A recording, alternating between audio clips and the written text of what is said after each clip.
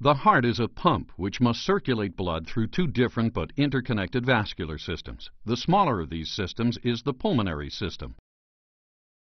Blood returning from the upper part of the body is delivered to the right atrium of the heart by the superior vena cava, one of the body's two largest veins, while blood returning from the lower part of the body is delivered to the right atrium by the other major vein, the inferior vena cava. Contraction of the right atrium in each cardiac cycle forces blood into the right ventricle. This is followed by contraction of the right ventricle, which pumps blood into the pulmonary artery, sending it on through the blood vessels of the lungs. As the right ventricle contracts and pressure within the right ventricle rises, the tricuspid valve situated at the opening between the right atrium and right ventricle shuts, preventing any backflow.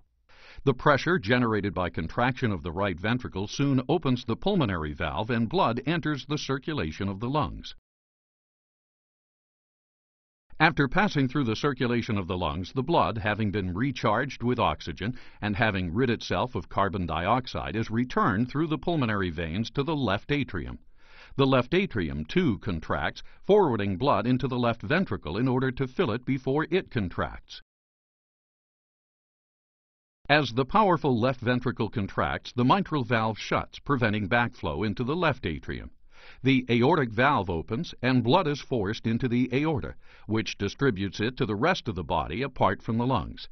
As the contraction comes to an end and pressure in the aorta falls, the aortic valve snaps shut to prevent backflow into the left ventricle.